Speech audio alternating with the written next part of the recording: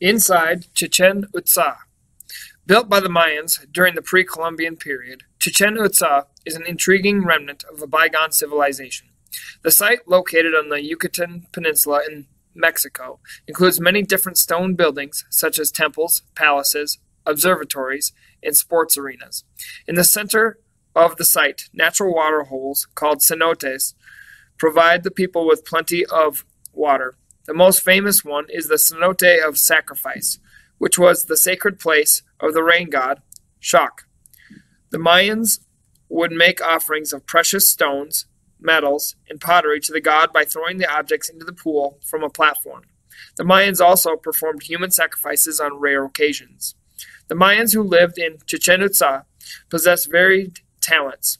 They were fierce warriors who also studied astronomy and engineering. They were also a religious people, as evidenced by the many gods that are depicted in Mayan paintings and sculptures. While most buildings on the site were used for religious, political, economic, or scientific purposes, some structures were used for social purposes. On the ball courts, players had to pass a rubber ball through a small stone ring without using their hands.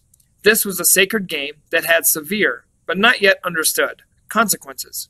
One wall painting depicts the captain of a team being decapitated. The debate remains, however, whether this is the captain of the losing team being punished or the captain of the victorious team offering his life as a sacrifice. Located near the ball courts is a T shaped structure called Tzompantli, which was used to display the skulls of enemies and sacrificial victims. The platform is approximately 197 feet long and 39 feet wide. Its central location allows for easy viewing, which would indicate that this display held special importance to the Mayans of Chichen Itza. When a revolt and civil war occurred in 1221, the rule of Chichen Itza declined. Many buildings were damaged and the rulership shifted to other locations. The site is a World Heritage Site and a popular tourist attraction, and the sacred cenote remains a popular pilgrimage destination.